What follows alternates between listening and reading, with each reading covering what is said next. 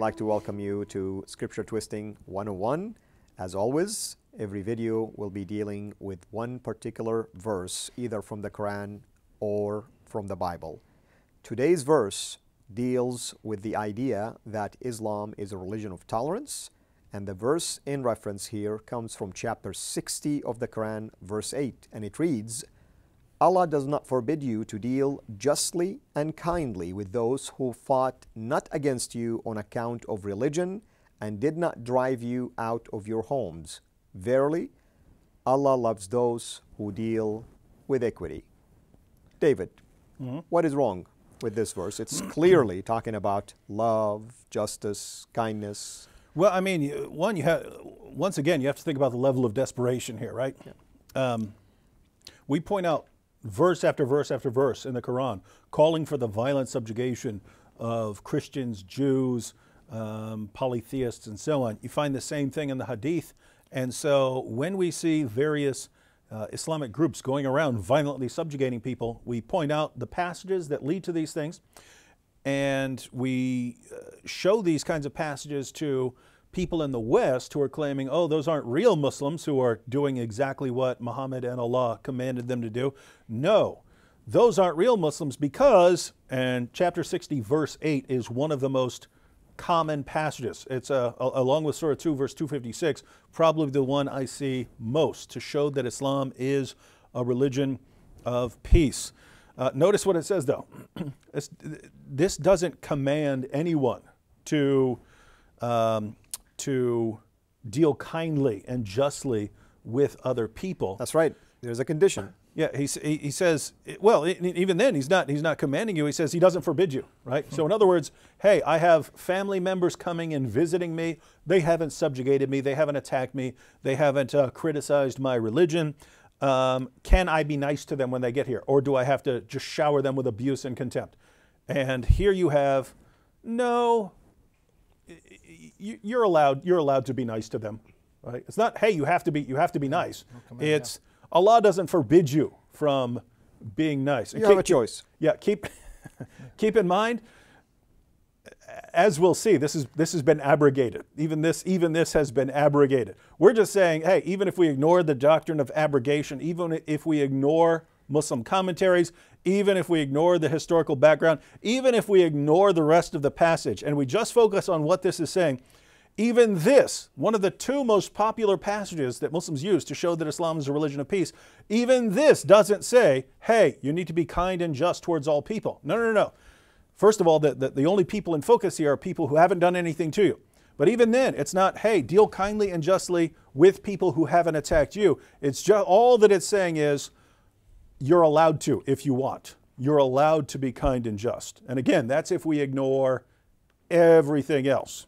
All right, Sam, what do you Yep. think about this? Another thing that the non-Muslims have to keep in mind, because non-Muslims do not equate, let's say, criticism as a form of fighting, right? I mean, if I criticize you, you may criticize me, but that's not grounds for him to pick up a sword and, you know, chop off my neck or pick up a gun and shoot me, right?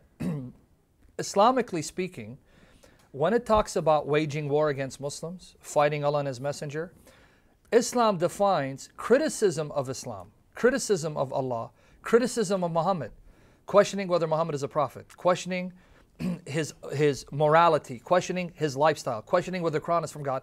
That's considered waging war. That's considered fighting with your tongues, and that's grounds for Muslims to attack, subjugate, and or kill you. And here's the proof. chapter 60 verse 2, the same chapter of the Quran. Chapter 60 verse 2. Because what did 60 verse 8 say? That Allah doesn't forbid you from showing kindness to those who do not war with you. Well, hold on. Let's see what fighting or making war with Islam looks like from a Muslim perspective. Chapter 60 verse 2, same chapter of the Quran. If they come on you, they will be enemies to you and stretch against you their hands and their tongues to do you evil, and they wish that you may disbelieve. So it's not just physically attacking Muslims, it's attacking Muslims verbally, criticizing Muhammad. That's right. Saying Muhammad is a womanizer or a pedophile. That's grounds for Muslims to attack you. That's grounds for Muslims to kill you, if not subjugate you, because that's considered warfare. That's further confirmed by two other verses in the Quran. Chapter 9, verse 12. Watch here. And by the way, chapter 9. We're going to revisit that That's a little later, and that's the last chapter that was supposedly composed by Muhammad, his final marching order, so to speak. Chapter 9, verse 12. But if they violate their oaths after their covenant and attack your religion with disapproval and criticism, notice, attack your religion how? By disapproving of it and criticizing it, then fight you, the leaders of disbelief. For surely their oaths are nothing to them, so that they may stop evil actions. So if I fight Muslims by criticizing Islam and disapproving of Islam, that is grounds for Muslims to attack me and or kill me. Now, chapter 9, verse 32. They, and again I'm reading Hilali Khan that provides explanation within parentheses, they, the disbelievers, the Jews and Christians, want to extinguish Allah's light with their mouths. That is to say, with their swords, with their war horses, with their missiles. No, with their mouths. They want to extinguish Islam with their mouths by saying Muhammad is a false prophet, he's a fraud. But Allah will not allow except that his light should be perfected, even though the kafirun disbelievers hate it. So, what's the point? Criticizing Islam is declaring war against Allah and His Messenger, and that's grounds for Muslims to attack you and or kill you and oppress you. Now, there's more to chapter 60, isn't there, is there not? Oh yeah, there's there's verse four where they have Abraham as an example according to the Quran. So check this out. So this is verse four. Again, same chapter, same chapter that Muslims are quoting to show that Islam is peaceful and tolerant. Chapter 60, verse 4 Indeed, there has been an excellent example for you in Ibrahim, Abraham, and those with him, when they said to their people, Verily, we are free from you and whatever you worship besides Allah. We have rejected you, and there has started between us and you hostility and hatred forever until you believe in Allah alone. Right? And that's Abraham's their Yeah, example. so so uh, so no, notice what the Quran does here, right? It lays down Abraham as an example and says Abraham said to his people, to his people, "Hey guys, I preached Islam to you, you didn't believe me, and now there is hatred and hostility between us forever until you believe in Allah alone."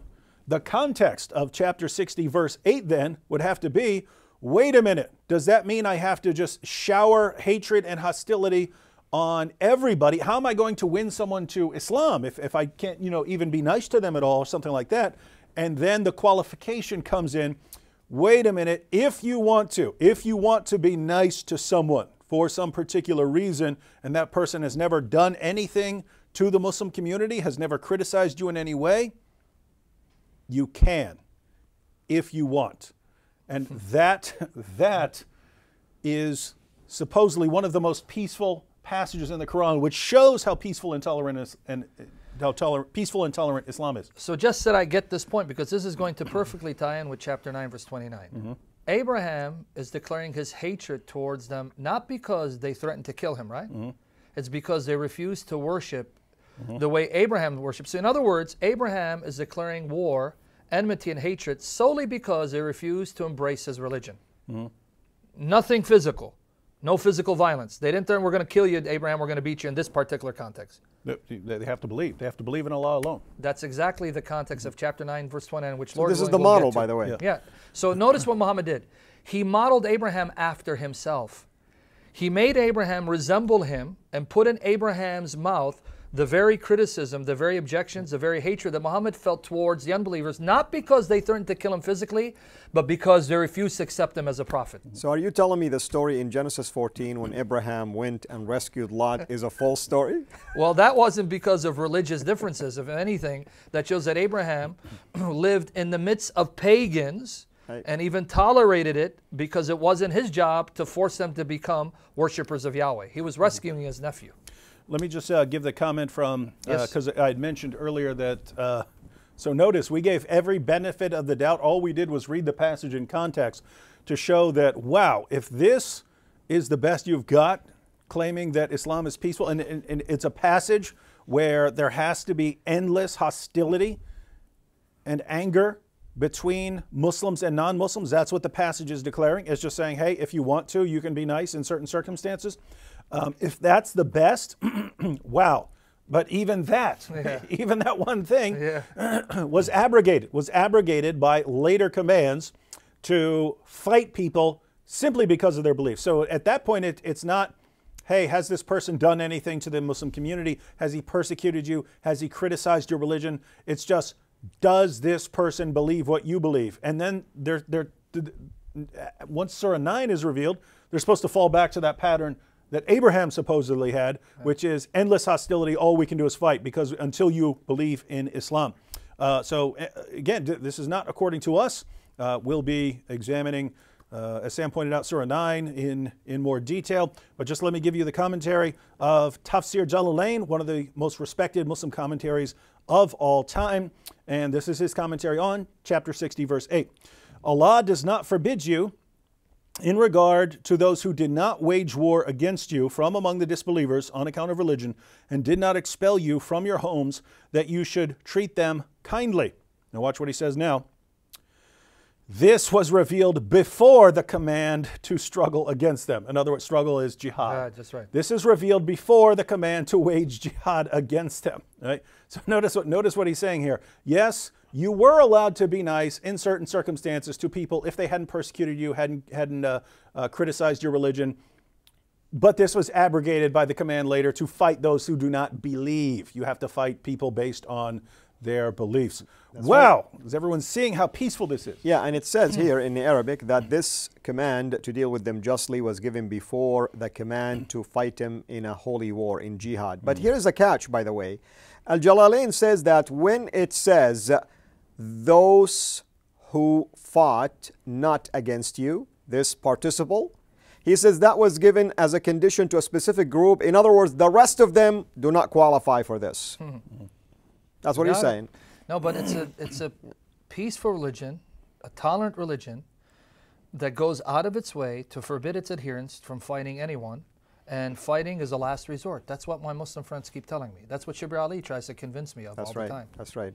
Gentlemen, may peace be upon both of you. Thank you. Until we meet again, have a blessed day. Thanks for watching. Make sure to like and subscribe. Also, hit the bell so that you don't miss future videos. And please consider becoming a patron at patreon.com forward slash CIRA International. And together we can introduce Muslims to the gospel of Jesus Christ.